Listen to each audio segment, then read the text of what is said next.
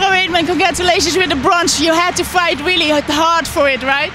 Yeah, I wanted to really commit. I knew that Laura might go from a long way out, so I thought if she does go with it and see what I've got. I've trained well, and I knew coming in here I didn't want to step off the track thinking, why didn't I go with it? So I went with it, and yeah, I might have paid that last 200 metres, and Sofia, the Polish girl, just caught me, but I'm absolutely delighted to be leading with a bronze medal, and I'm, I'm proud that I attacked the race and was aggressive and confident to go with Laura Muir, and you know she's a fantastic winner. Going into the last lap, you were second, but then Sofia came and also Ciara came. But you you kept you kept your pace, which is very. Um, very good.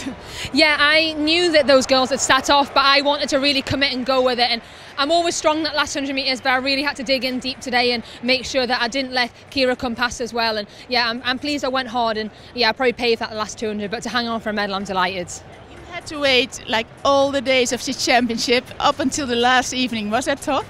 Yeah, it's been hard, but it's been really exciting to watch the team, and it's great to support everyone and seeing some great performances that we've had. So yeah, I was really excited to come out here and compete today, and yeah, please be leaving with a medal. What was the, the, the advice of your coach before the race? Because he has a lot of experience in racing. Yeah, Steve said to me, just go in there, be confident. He told me I was in great shape and he said, just fight for a medal. And yeah, we wanted to go hard from a long way out today. We didn't want to wait for a last last lap burn up because we know that brings so many other athletes into the race. So I wanted to make it hard and step off the track knowing that I couldn't have done any more. Uh, in the stadium after the finish, were the persons who you, you were looking for? Yeah, my mum and dad are here, so I saw them with my Team Weightman flag, and my boyfriend and some friends were here, and they've got Team Weightman t-shirts, so it was really special to see them cheering me on.